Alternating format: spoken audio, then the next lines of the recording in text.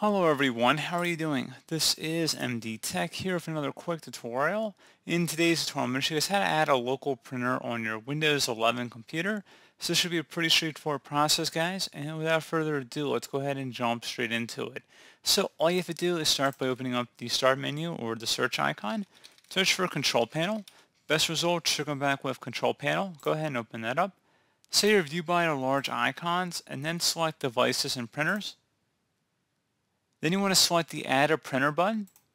Also, make sure your printer is turned on as well, so if you need to connect it to your Wi-Fi settings, you have done that already. So again, make sure it's connected to your Wi-Fi, and then go ahead and run this search.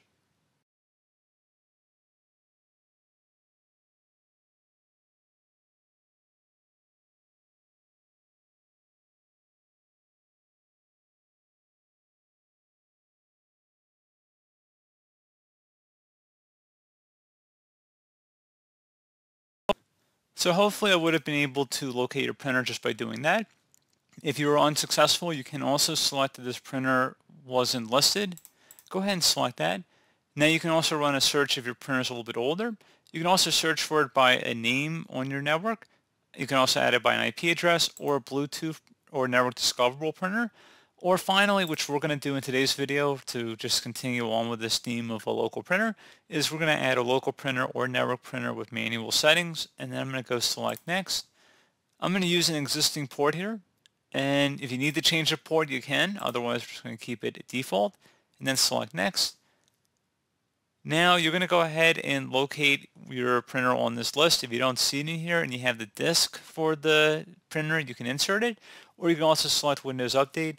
Please note also, I should definitely mention this, that if you guys have a printer, most printer manufacturers have you know drivers on their website you can just download and install as part of a full package. So you're welcome to go ahead and download them directly from the manufacturer's site and they have automated tools to do all that pretty much without any need for you to do anything. So that's something I would definitely take a look at as well. But anyway back onto the screen here. Since we don't see our manufacturer over here on the left we're going to go select Windows Update and this will begin updating our list of printers. So just give it a moment here. It will take some time, but trust me, it will give us a decent populated list of applicable printers for our computer.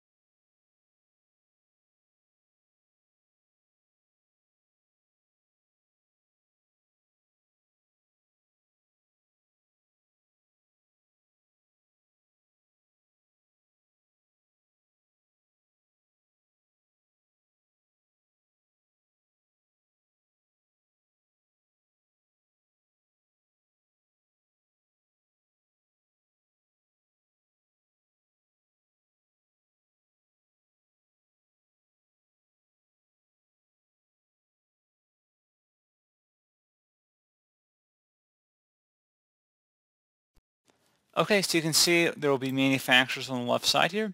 So select your applicable printer. So let's just say, I mean, again, you can see there's a ton here. They go in alphabetical order. Then you'll select your printer over here on the right. And then you'll select next. Again, you can see there's a little scroll bar. You can scroll through here. Again, you have a ton of printers on the left side. So the, you select the manufacturer first, and then you select the printer on the right, and then you select next.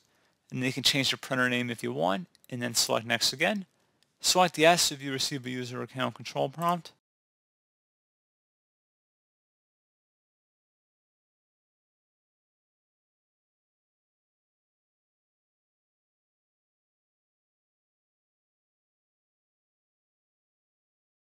And then it should say you've successfully added the driver. And you can select finish or print a test page if you want. And that's pretty much it, guys. So as always, thank you for watching this brief tutorial. Do hope I was able to help you out, and I do look forward to catching you all in the next tutorial. Goodbye.